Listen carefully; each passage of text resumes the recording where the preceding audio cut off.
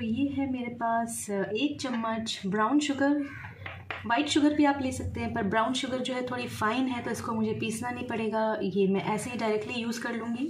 ये मैंने हाँ एक टीस्पून या एक टेबल स्पून मैंने दही लिया है कर्ड ये मैंने एक चुटकी हल्दी ली है टर्मरिक टर्मरिक पाउडर ये मैंने हाफ़ टमाटर लिया है।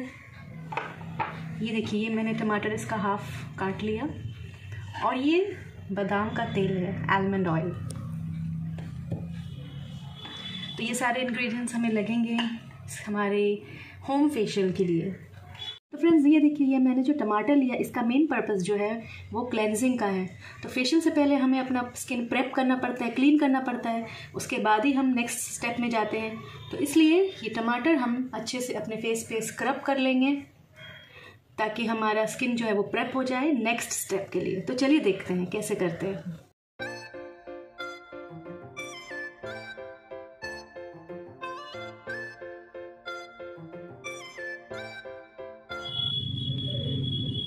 तो फ्रेंड्स, देखिए, अब मैं आ चुकी हूँ पहला स्टेप कंप्लीट करके तो मैंने वॉश कर लिया। तो अगर आपका एक्ने प्रोन स्किन है तो आप इसको अवॉइड करें टोमेटो नहीं घसें अपने फेस पे, वरना और ज़्यादा एक्ने आ जाएगी आपको। मेरा एक्ने प्रोन नहीं है तो इसलिए मैंने इसको यूज़ किया है। और क्लेंज़र अगर आपके पास क्लेंज़र है नेचुरल क्लेंजर्स जो होते हैं, जो काफ़ी मार्केट में अवेलेबल हैं, अगर आपके पास वो है तो आप उसको अप्लाई करके उसके बाद नेक्स्ट स्टेप में जाएँ। तो बस फ्यू ड्रॉप्स इसमें आप आलमंड ऑयल मिला लें और उसको फिर अच्छे से आप इसको मिक्स करें। ये देखिए, इसको अच्छे से मिक्स करेंगे। और इसके बाद आप ये स्क्रबिंग करें अपने फेस पे। ये स्क्रबर का काम करेगा और आपके जो भी डर्ट है, वो निकल जाएँगे आपके फेस से। आलमंड ऑयल वैसे ही बहुत नरिशमेंट है, उसके अंदर काफ़ी नरिशिंग होता है। और जो ये ग्रैन्यूल्स हैं, ये जब आपके फेस में पिघलेंगे तो इससे आपकी स्क्रबिंग बहुत अच्छे से होगी। तो ज़्यादा देर आप इसको स्क्रबिंग ना करें। One two two one minute is enough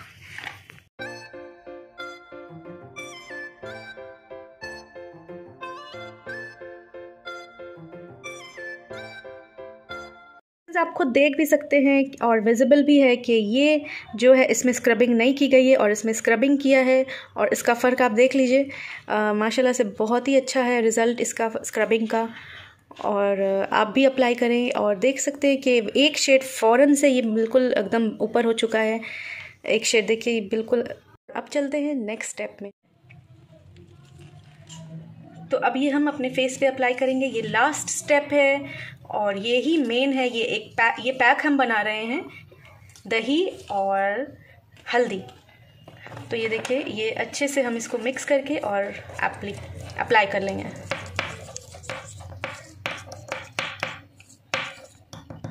बस इतना ही इनफ है। तो इसमें हमने वो जो हल्दी ली थी और इसमें हमने अपने फेस के हिसाब से इसमें मैंने दही ऐड कर दिया है, क्योंकि मैं फेस और नेक में लगाऊँगी।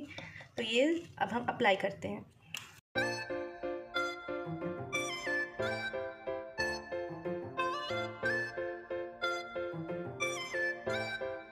देखिए अभी मैं वॉश करके आ चुकी हूँ, मेरा फाइनल स्टेप जो था तो इससे मुझे तो काफ़ी ज़्यादा फ़र्क लग रहा है। आपको लग रहा है कि नहीं, बताइए मुझे।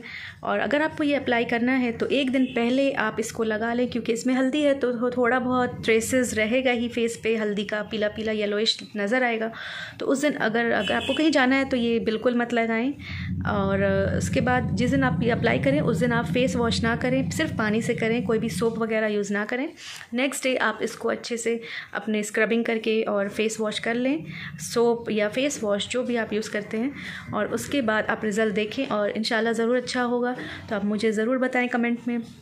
ये वीडियो अच्छा लगा हो तो लाइक करें शेयर करें सब्सक्राइब करें। अल्लाह हाफ़